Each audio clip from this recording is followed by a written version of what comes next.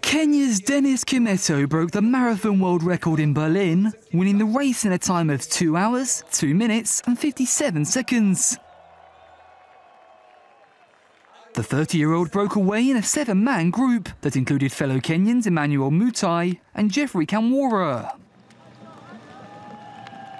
He shook off Mutai with just under three miles remaining to become the first man to run a marathon in less than two hours and three minutes.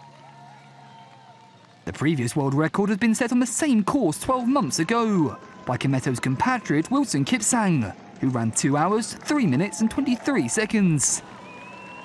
After winning marathons in Tokyo and Boston last year, Kimetto had promised to attack the record in Berlin if conditions allowed. In weather perfect for long distance running, with temperatures around 8 degrees centigrade, Kimetto kept his promise, staying in the lead group throughout and sprinting to victory to set a new world's best time.